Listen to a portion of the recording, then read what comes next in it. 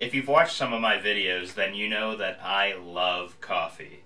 And as you can see right now, I haven't shaved in a few days. It's been a long week. So the one thing I want right now is my morning cup of coffee.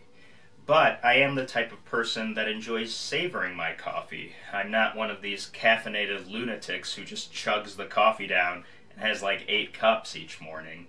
I like to enjoy my coffee. But as a result, my coffee would get cold, I'd put it into the microwave, and that just zaps it up. You lose its flavor.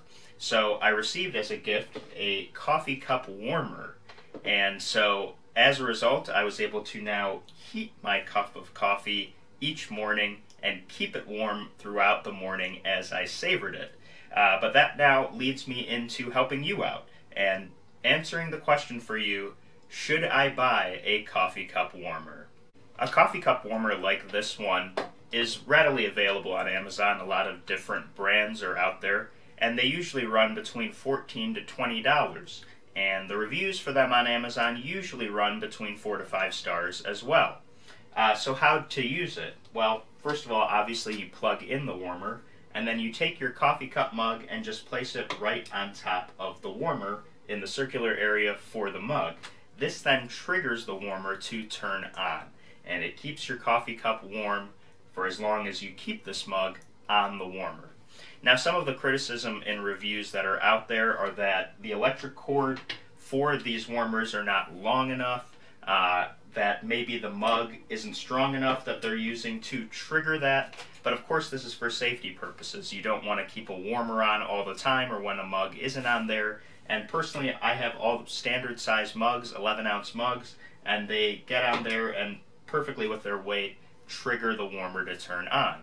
So uh, I don't know of the criticisms that are out there, but personally, this is just a $15 warmer that was out on Amazon, and I've loved it. Uh, all of the criticisms I've not experienced, I've had it for a year. It's been a great addition and kept my coffee warm.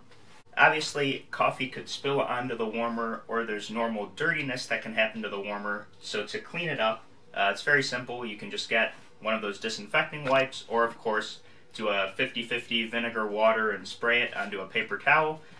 Make sure your cat has uh, chewed up the paper towel roll in advance of it, and then just go ahead and uh, clean off the warmer.